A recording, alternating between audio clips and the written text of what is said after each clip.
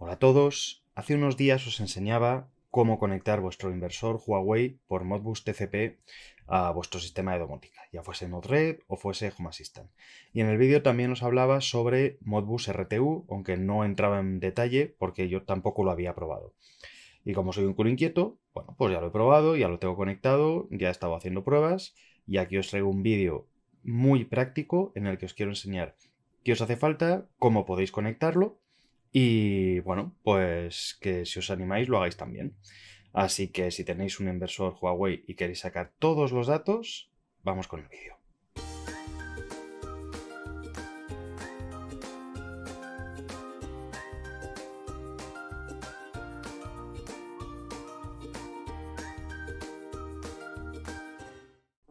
Vale, y antes de empezar os diré algunas cosas que creo que es importante que sepáis. Eh, lo primero, trabajar siempre quitando la electricidad del inversor, aunque no vais a trabajar con alto voltaje, pero bueno, evitemos cualquier tipo de corto que pueda provocar un fallo en la electrónica. Y vais a tener que tocar el inversor, así que debéis saber lo que estáis haciendo porque si está en garantía tocáis algo, pues podéis tener problemas. Eh, Modbus RTU permite también escribir valores y modificar valores en el inversor. Yo no tengo batería, así que no lo necesito y no he hecho pruebas. Y no he hecho pruebas porque además considero que hay que tener cuidado con lo que se toca y en mi caso a mí lo que me interesa es sacar datos. ¿Vale? Debéis saber qué se puede hacer, pero yo no lo he hecho y tampoco os puedo recomendar que lo hagáis si no sois expertos en este tipo de sistemas porque podéis crear un problema hasta de seguridad. Dicho esto, vamos con los pasos. Mi nombre es Carlos y llevo más de 20 años dedicándome a la tecnología. En este canal encontrarás muchos vídeos de domótica, hogar inteligente y muchas cosas de tecnología muy interesantes. Así que si es la primera vez que aterrizas aquí, te invito a que te suscribas, le ves a la campanita y así YouTube te avisará de todos los vídeos que suba. Para este vídeo voy a utilizar una Raspberry 3 que tengo en casa. Con eso es más que suficiente y con una carcasa que, bueno, para el exterior la va a proteger, bueno, para el exterior. Para la zona de trastero donde está la va a proteger muy bien. En cuanto al pincho USB que vamos a utilizar para este vídeo, es un conversor de RS485 a USB y bueno, pues por lo tanto nos va a permitir engancharlo directamente a la Raspberry. Es verdad que podíamos haber utilizado un conversor eh, para enchufarlo a un SP32 o un SP8266, pero yo creo que bueno, utilizar una Raspberry o una Orange Pi eh, bueno, va a facilitar bastante las cosas. Como podéis ver, eh, viene indicado bien cómo conectar los cables y bueno, pues es bastante sencillo. Igualmente en el manual, pues si tenéis cualquier duda, os dice cómo hacerlo. Os dejo también si queréis abajo en la descripción eh, un enlace eh, donde yo lo he comprado por si queréis comprarlo. Y así es como va a quedar finalmente si utilizáis una Raspberry o una Orange Pi. Así es como va a quedar la instalación o el montaje. Os recomiendo que le compréis una carcasa más o menos barata, pero una carcasa la Raspberry para protegerla, eh, porque a lo mejor el inversor lo tenéis en un trastero, en un garaje o mismamente en la calle eh, y todo esto hay que protegerlo. También os recuerdo, la Raspberry y el pincho no se pueden mojar, ¿vale? Si tenéis el inversor en la calle, el inversor sí se puede mojar, si le puede dar la lluvia, a la Raspberry no. Entonces cogéis un cable un poco más largo y os lleváis la Raspberry y el pincho a algún sitio protegido, debajo en un garaje, en un trastero o en casa, donde queráis, pero si se moja, os quedéis sin ella. Y no será que hace frío, con abrigo y todo, pero bueno, Vamos a ver si podemos instalarlo y a ver si funciona.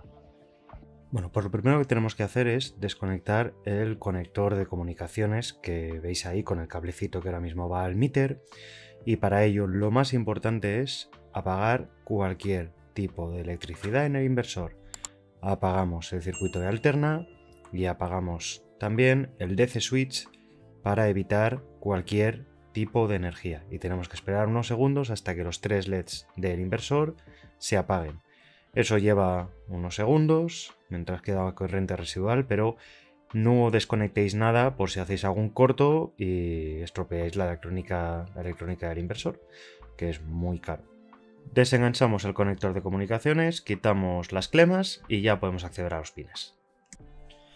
Vale, y en esta foto podéis ver cómo es el conector de comunicaciones de Huawei. Tenéis que conectar eh, vuestro cable a los pines 1, 2 y 5. 1 y 2 son el bus RS485 y el 5 es tierra. Yo en mis pruebas no ha cambiado nada o no he visto ningún cambio conectando el tierra o no conectándolo, pero las buenas prácticas dicen que es mejor hacerlo. Si tenéis el mismo eh, pincho USB, eh, habéis comprado el mismo que tengo yo, las conexiones son muy sencillas. Del número 1 del conector de Huawei al 2 del pincho, que es la letra B. Y del número 2 del conector de Huawei al pincho, al número 1, que es la letra A. Y luego el 5 a la tierra. Si lo hacéis así, os va a funcionar a la primera. Vale, pues volvemos a enganchar el conector de comunicaciones, así es como va a quedar, así va a quedar el pincho USB y en mi caso pues la Raspberry la tengo puesta ahí apoyada en un cuadro eléctrico al lado del inversor y ya podéis dar la corriente y esperar a que arranque. Vale, y un pequeño inciso simplemente para hacer una pequeña corrección sobre lo que os enseñaba antes en el vídeo. Inicialmente utilicé un cable de tierra normal Em, eh, sin mallado para hacer la conexión. Y detecté que había un cierto número de pérdida de paquetes o de interferencia. No era muy grande, pero mm, como se supone que hay que utilizar cable mallado, pues directamente me fui, cogí un viejo cable de, de algo, no recuerdo de qué es, que está mallado, y es el cable que he utilizado finalmente, ¿vale? Entonces las conexiones que habéis visto inicialmente en el vídeo Luego las he vuelto a hacer, pero con un cable mallado. Bueno, y aquí he hecho un par de pruebas para ver que efectivamente lee bien los datos y no hay ningún problema de interferencias y todo va correctamente. Os recomiendo que una vez que hagáis los cambios entréis en la aplicación de Huawei Solar en modo local en el inversor y veáis que todo sigue funcionando correctamente, que el meter sigue enviando datos y si tenéis la batería, pues que la batería sigue enviando datos, dado que hemos tocado esa parte del conector. Vale, pues ya tenemos el sistema instalado. Ya tenemos la Raspberry o lo que hayáis elegido. Y ya está conectado el conversor de RS485 USB y lo tenéis todo listo. Así que ahora necesitamos poder extraer la información para integrarla en nuestro sistema domótico. Y aquí no os voy a dar una solución, os voy a dar dos. La primera es que utilicéis Node-RED. Ahora os voy a enseñar un ejemplo de cómo se hace. Es muy parecido a Modbus TCP, y por lo tanto si seguís los mismos pasos vais a poder extraer la información. Y la segunda opción, no sé si decir que para vagos o directamente para que lo tengáis mejor o lo tengáis más fácil, os voy a enseñar el script que he hecho y he adaptado para utilizar Modbus RTU. Es una variante del que ya hice para utilizar Modbus TCP, pero en este caso, a través de un contenedor Docker igualmente, podéis extraer la información eh, del inversor y volcarla directamente por MQTT para tener listos todos los valores. Os sirve el mismo flujo que os enseñé en el otro vídeo, en el de Modbus TCP, que os dejo enlazado por ahí arriba. Dicho esto, vamos a empezar a ver cómo integrarlo. Muy bien, pues lo primero es que eh, para hacer esto vamos a utilizar Docker. Así que eh, si no tenéis instalado Docker, os recomiendo que lo primero que hagáis sea ver eh, dos vídeos que os dejo enlazados también en el canal, que son eh, cómo montar eh, una instalación de Node-RED, de Home Assistant con Docker, que os va a facilitar mucho la vida.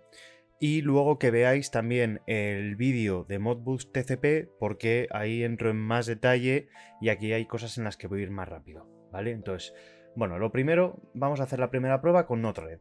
Entonces tendríamos que instalar Docker en la Raspberry que hemos puesto al lado del inversor y luego con Docker Compose vamos a añadir un nuevo servicio que es Node-RED. Vale, para ello hay algunas cosas importantes que tenéis que tener en cuenta. Tenéis que ponerlo como privilegiado, ¿vale? Os voy a dejar esto también enlazado en los comentarios para que podáis copiar y pegar. Y tenéis que hacer que eh, Node-RED arranque utilizando el usuario root. De esta forma va a tener acceso al dispositivo. También tenéis que añadir este device, que es el, pincho USB para que Docker lo pueda ver y Node-RED lo pueda ver. El resto de cosas son iguales que las que hemos hecho en los otros tutoriales. Por lo tanto, hacemos esto, guardamos, arrancamos Node-RED y una vez que tenemos Node-RED arrancado, nos vamos a ir y vamos a ver cómo crear un ejemplo de prueba. Vale, pues una vez que estamos en Node-RED, lo siguiente que tenemos que hacer es eh, recordar que tenéis que instalar la paleta de Modbus, como os enseñaba en el vídeo de Modbus TCP. Así que nos tenemos que ir a buscar, vamos a filtrar aquí arriba, Modbus, tenemos que agregar un elemento de lectura. Y aquí tenemos que hacer una configuración, que yo aquí la tengo hecha de pruebas, pero que es muy parecida a la de TCP, pero que tiene algunos cambios importantes. El tipo ya no es TCP, va a ser serial, Vuestro dispositivo tiene que ser el que habéis expuesto, en este caso DEF TTI USB 0. El serial type tiene que ser RTU y la velocidad de datos de, transmisión de datos 9600. Recordar que aquí ya el Unit ID es 1, ¿vale? Es importante. El resto, mm, el, el Q command yo lo tengo desactivado. Mm, hay gente que le funciona con ello activado. Eh, podéis probar. Con esto actualizáis y ya podemos sacar cualquier valor. Vamos a buscar un valor que nos interese y, lo sacamos. Vale, pues vamos a sacar el valor que nos está dando el power meter, es decir, el batímetro. Aquí ponemos lo que queremos, el unit ID es 1. Como siempre, vamos a leer un registro. La dirección es 37113 yo ya sé que esta dirección eh, son dos, em, dos, cadenas, es decir, tenéis que leer dos, em, dos registros eh, simultáneos, vamos, el, el, 113 y será el 114. Esto todo lo tenéis en la documentación de Huawei. Y aquí, bueno, decir que lea cada minuto, me da igual. Vamos a añadir un nodo de debug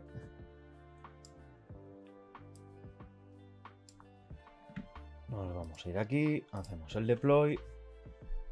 Y ahora ya vamos a probar y vamos a decirle que nos devuelva un valor. Vale, pues ya está, ya nos está devolviendo un valor. En este caso recordar que como es un registro doble, pues básicamente significa que hay que coger este primer valor de aquí, restarle este y nos va a dar automáticamente eh, en este caso, pues eh, la importación de red porque va a ser positivo. Como es el power meter, recordar, eh, si es positivo es lo que te estás saliendo de la red, si es negativo es lo que estás importando, es lo que estás exportando, perdón. Muy bien, pues con esto básicamente tendríamos que ir creando todos los registros, uno tras otro, tendríamos que hacer los cálculos para cada registro y ya podríamos enviarlo por MQTT o directamente a Home Assistant, lo que quisiésemos. Esta es la primera forma de hacerlo. No es la más cómoda, no es la más cómoda porque ya os obliga a tener que crear toda una serie de flujos en Node-RED, hacer cálculos. Em, yo os doy una solución mm, que me parece más sencilla porque ya está hecha y solo tenéis que instalarla. En vez de utilizar Node-RED, vamos a utilizar una librería que os dejo enlazada en, GitHub, que he subido eh, además esta misma mañana, y es una versión de mi librería de Modbus TCP a MQTT, pero en este caso utilizando RTU.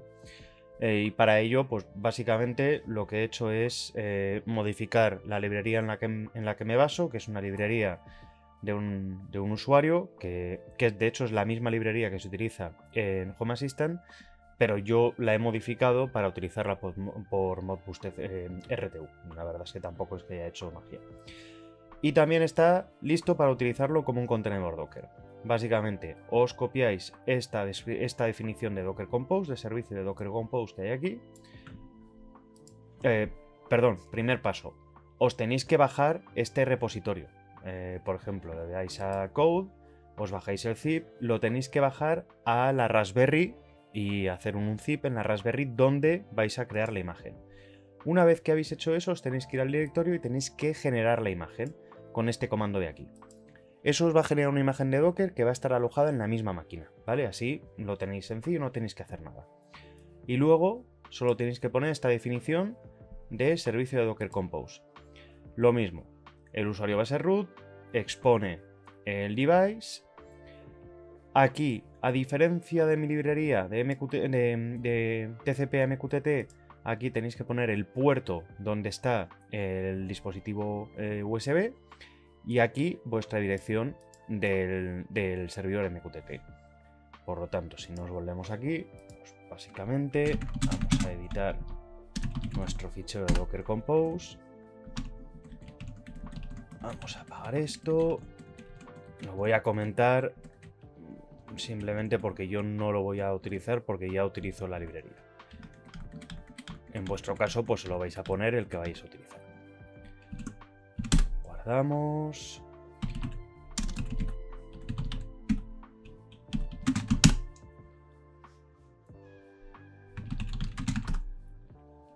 Vale, nada más en, mi caso tengo que parar, que no lo he parado antes, el Node-RED.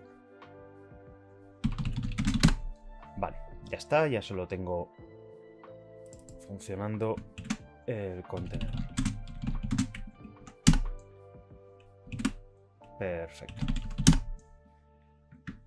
Y ahora, si yo me voy, eh, de, hecho, em, si habéis eh, visto el tutorial de TCP, mm, os dejé un flujo, que es el, mismo flujo que utilizo eh, para recibir los valores por MQTT y pasarlos a Home Assistant. En este caso es exactamente el mismo flujo porque utilizo la misma librería. Así que si utilizáis ese podéis cambiar de TCP a RTU sin tener que tocar nada en Node-RED.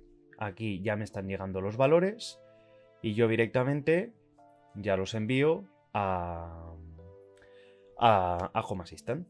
Y con eso ya lo tenéis. No tenéis que hacer absolutamente nada más. Os lo pongo fácil. Y me vais a decir que no es interesante. Bueno, pues ahora ya os podéis poner a jugar y podéis empezar a sacar los datos. Es bastante más estable que Modbus TCP, por lo menos por las pruebas que he hecho. Así que puede ser una solución para todos aquellos que tenemos problemas con TCP, con el Modbus TCP, con la implementación de Huawei. Espero que este vídeo haya servido para dejaros las cosas más claras. Espero haber sido capaz de explicarme.